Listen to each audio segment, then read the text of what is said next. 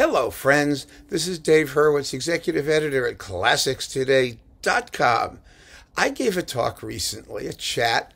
Actually, it was like yesterday.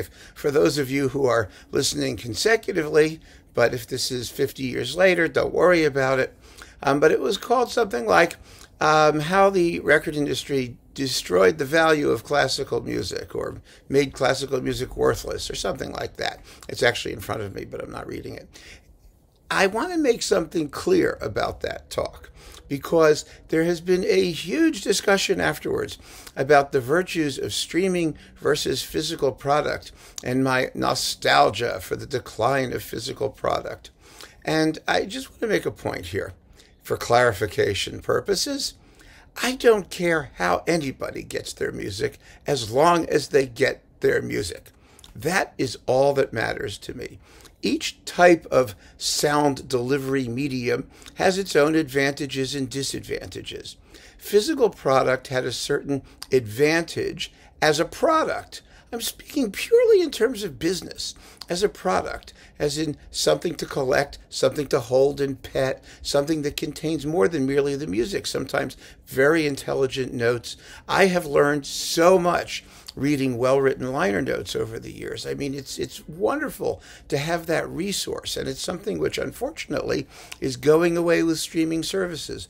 On the other hand, with streaming services, you pay your however many bucks a month, 10 bucks, 20 bucks, it's de minimis, and you can get anything you want, which is amazing, which is fabulous you can just root around and find whatever stuff you want, and it's all out there. I mean, you know, it's it's amazing. It's absolutely amazing. I mean, there are also issues with being able to stream things directly and how you hook your system up, how you hook your computer up, how you what you you connect to your stereo and what your listening room is like and what your equipment is like and all of these sort of technical issues, but they're all resolvable. And so eh, I don't care. I really, really don't care. And this is my personal view. What matters is that everybody should be able to get the kind of music they want, when they want it, however they want it. I've been very lucky in my life. I was a critic for years and years and years where they were giving away free stuff. They don't so much anymore. Now I mostly buy it. Fortunately, having passed 60 years old, I have the wherewithal to acquire the stuff that I want to listen to and talk to you about it if that's what it involves. I'm perfectly happy doing that. But it, it doesn't make any difference how you get your music. I, I just think we should all agree on that. It's it's nobody should feel guilty for sitting on piles of CDs like I do, like Fafner guarding his hoard, or people who subscribe to streaming services and get them that way. One is not better than the other. But I do have certain strong opinions about the business end of things. I mean, you know, I studied marketing at Stanford Business School. I have some business conceptions. I've been in and around the business for such a long time. I've seen brick and mortar stores disappear. I've seen distribution channels change. I spent over a decade at the MIDEM convention in France dealing with all of the international distributors and the labels and hearing them bitch and moan and complain. And, you know, so I do have some pretty strong ideas about the business. And I've seen so much foolishness and nonsense on the part of the record labels and the people who are charged professionally with trying to sell classical music. I think classical music is horribly marketed, hor- horribly described and sold.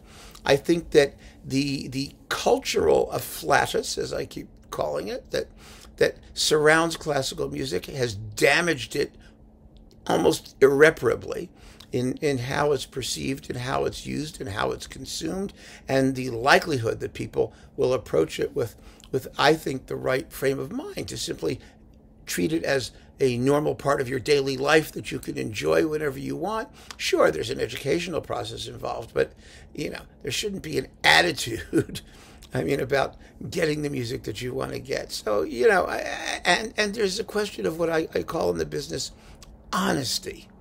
That is, what is it that you're selling and and what is the relationship of what you're selling to the people who are consuming it and how should they feel about it because nine times out of ten classical music is sold like cod liver oil you know you have to sugar the pill it's good for you, it's cultural, it's this, it's that, it's all of those things. It's all of those things. But that fundamentally is not what it is. What it is is musical entertainment. And people have to choose one form of musical entertainment over all the other forms of musical entertainment. And if you're going to make that choice, first you have to describe accurately what it is they're getting and why they should choose this kind and not that kind. And the answer is not because it's good for your baby.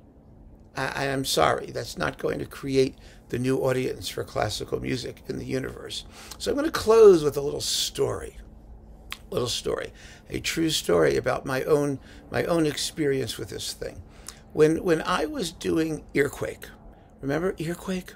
That's the disc that I played in and and helped to produce on the Ondine label, the world's loudest classical music label. My, my colleague, Dr. Zerlenmeyer Eller in Munich, and I, who put this collection together, wanted to do something that would be the, the classical music equivalent of, you know, head banging, crazy, hard rock noise just enjoyable junk, something that was fun, something that had no other reason for existing other than to just blow your brains out and prove that classical music could be as loud and obnoxious and annoying as any other kind of music out there.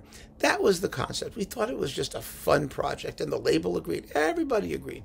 But this being the classical music business, you had to somehow sell and promote it, and and the label had a certain publicist who's who shall remain nameless. And that publicist was supposed to do work in, in promoting Earquake when it came out and do it the way we had discussed it.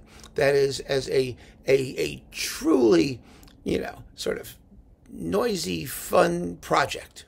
Well, that publicist was doing other things.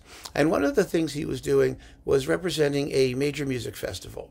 And that major music festival had as its theme classical the health benefits of classical music for that season the health benefits. Yeah right the health benefits. Okay. And so he thought it would be wonderful because he was basically just trying to grab the bucks. I'm serious. It had nothing to do with professional anything. It would be a wonderful idea to combine the earquake project with the festival's health benefits theory somehow and market them as the health benefits of classical music. And I got into a war with this schmuck. I said to him, listen, what health benefits? What the hell are you talking about? We're talking about just the opposite. We want to make something that's junk food. We want to make something that's bad for you. We want to sell it on that basis. We want it to be the, the you know the Doritos of classical music. I don't know, something like that. You know, anything that will get across the idea of just you know, the, the, the mindless, noisy fun of the whole project. It was one of the most disheartening experiences of my life. But I learned just how difficult it is to break classical music out of that out of that ghetto, that that awful, you know, you, you can't you can't describe it for what it is. You can't be honest about it. You have to try and persuade people or shame them into listening to it. I think that's a terrible thing because this is something that gives me such joy, and I know it gives you such joy too. And we should be able to share the joy, and we should be able to talk about it normally and honestly without having an attitude, without saying that you're better than the rest of the human race because of your musical taste. I mean, it's it's it's so irritating and the and the classical music industry has such a complex. All i'm saying all i'm saying is that is that it doesn't matter how you listen to it as long as you listen to it. And that is my final word. So thank you all for joining me. Keep on listening and take care